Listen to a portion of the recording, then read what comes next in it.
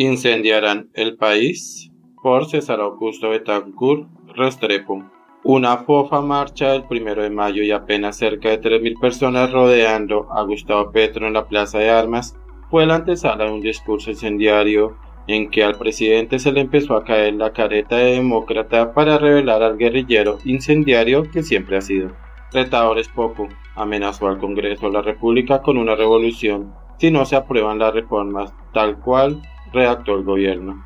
Porque si algo es claro, es que Petro no quiere llegar a acuerdos sino imponer su voluntad, ignorando el equilibrio de poderes. Para esto, tanto Petro como Francia Márquez dejaron claro que esta revolución la harán con la primera línea, grupo difuso y gaseoso pero violento, que tiene dentro de su prontuario asesinatos, secuestros, bloqueos, intentos de homicidio y otros tantos.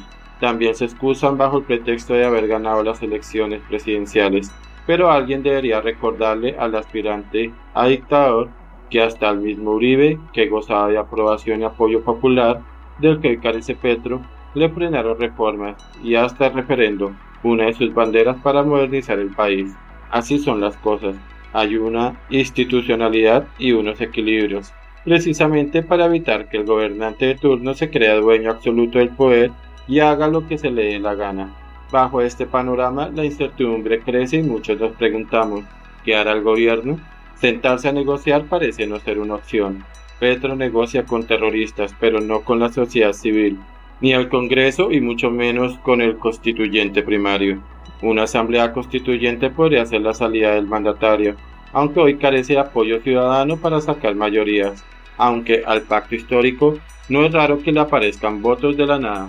La tercera opción y tal vez la más factible sea la de provocar esa revolución para incendiar el país, como incendiaron el Palacio de Justicia, y así tener la excusa perfecta para declarar el estado de excepción y gobernar por decreto. Y si algo sabemos de la primera línea es que son pocos, pero belicosos. No son peritas en dulces, sino criminales con nexos con el ELN y con capacidad de parar el país, lo cual agravaría aún más la difícil situación económica y social que atraviesa Colombia.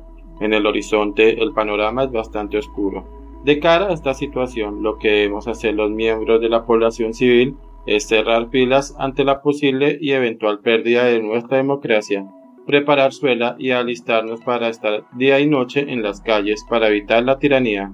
Una vez perdida la libertad, costará sangre, sudor y lágrimas recuperarla.